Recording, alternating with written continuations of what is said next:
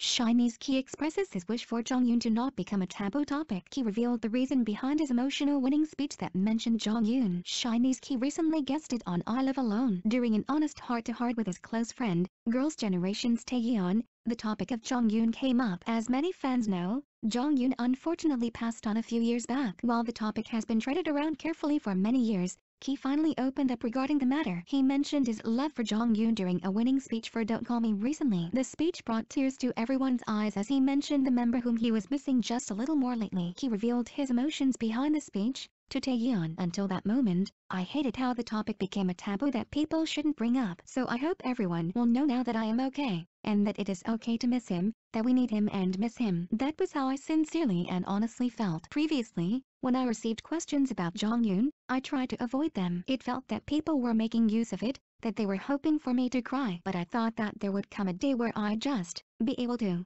talk about it. It suddenly just came out of my mouth. During the speech, he revealed that he had completely not planned the moment where he mentioned Jonghyun during the speech. However, as he always had it in the back of his head that their happiest moments were when all members were together, he ended up mentioning Jonghyun. We're sure Jonghyun is looking over them from heaven.